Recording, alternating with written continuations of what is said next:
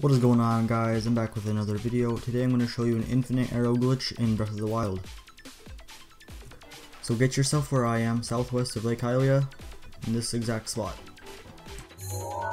In order to do this, you're going to need Revali's Gale. Once you've activated it, look down at the ground. Make sure you're always looking at the ground while you do this glitch.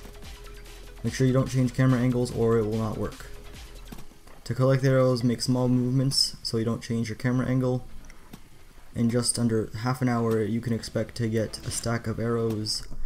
Here is a time lapse of me doing it.